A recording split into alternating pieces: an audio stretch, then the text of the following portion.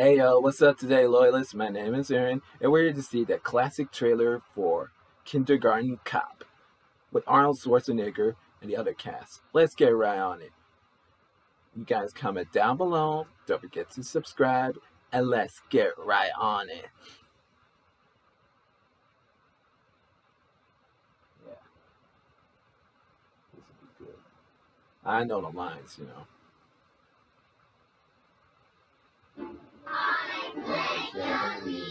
Now, more than ever, to be a teacher requires patience, kindness, and understanding. Ah, that boy's a pervert. Fortunately, Girls' Astoria. Elementary has just hired such an individual.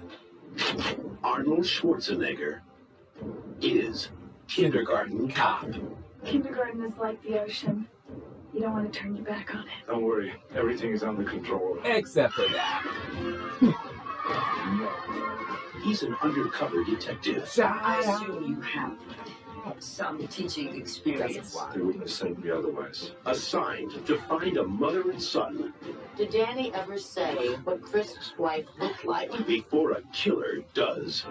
First, I would like to just get to know you. Ha ha ha ha ha ha ha. Quiet. kindergarten teacher. Hey, it's Kerrigan from He's Casper. trained to shoot. What made you become a kindergarten teacher? He's been trained to fight. But there are some things You need other people's watches? Stop it! he's never been trained to handle. They're walking all over me. Listen, Kimble, you gotta handle this like any other police situation. You're going to be my deputy trainees. You're not gonna have your mommies run behind you anymore like your little douches. You are mine now. I'm not a policeman. I'm the princess. Arnold Schwarzenegger You hit the kid. I hit you. Wow. in That's an the Ivan Reitman film. Are you married, Mr. Kimble? No, I'm not. He's not married, Mom. Welcome to Astoria, the single parent capital of America. Your little mustache. Must from the milk. Got milk.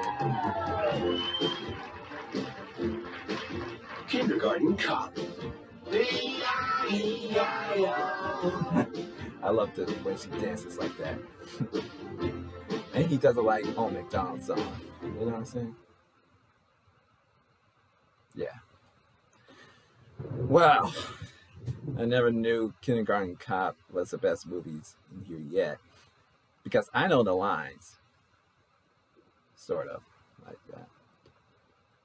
So anywho, I hope y'all enjoy it. Don't forget to comment down below and I'll see y'all later. Deuces.